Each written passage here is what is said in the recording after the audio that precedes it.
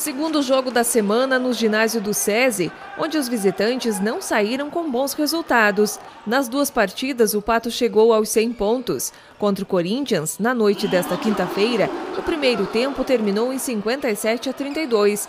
Resultado relevante que garantiu a vitória da equipe pato-branquense, porque o segundo tempo, o Corinthians terminou na frente nas duas parciais.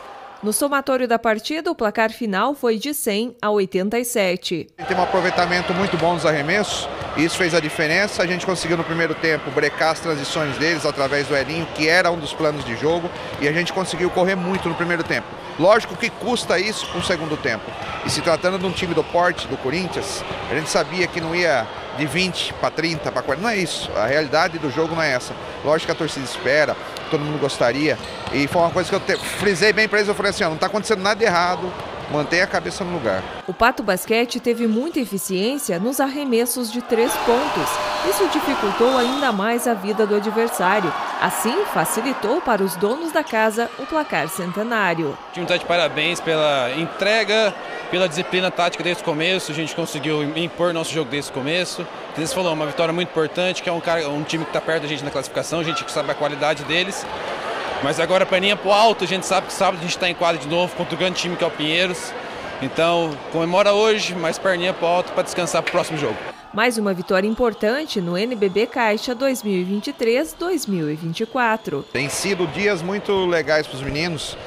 Eu falei para eles desde a parada lá, que foi mais longa, que nós tivemos o pessoal viajando para seleções, Fabrício no 3x3, Jogo das Estrelas, a gente ficou um tempo né, sem jogos, treinando. E eles vinham encaixando, fazendo treinos fantásticos, mas eh, esses moleques estão muito focados, comprometidos desde o começo, estão ganhando corpo no momento certo, que a gente vai finalizando a, o segundo turno, se preparando para um playoff, e fizeram por merecer esse resultado.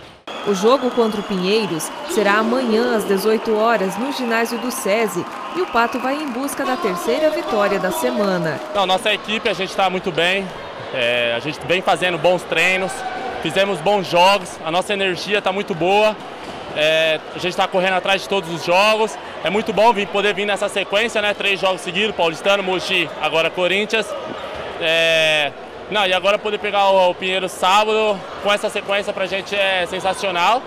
Não, e tentar ganhar mais um jogo, né? Aqui dentro de casa para poder entrar nesses playoffs da melhor forma possível. Espero que assim a gente consiga manter esse padrão que a gente está mantendo, que é difícil pelo cansaço dos meninos, o que eles se dedicaram, o que eles se desgastaram, mas a gente tem um time com pessoas descansadas que eu confio e que se puder e precisar entrar no jogo, vai entrar e garantir o que tem que fazer.